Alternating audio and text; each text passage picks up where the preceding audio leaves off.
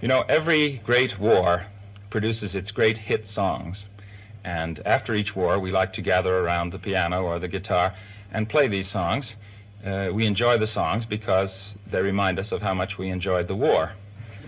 Now, World War III is almost upon us, as you know, by uh, popular demand, it seems.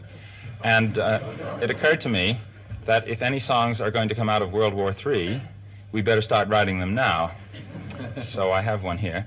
This is. Uh, this is a song that some of the boys will have sung to their mothers as they will have gone bravely off to World War III.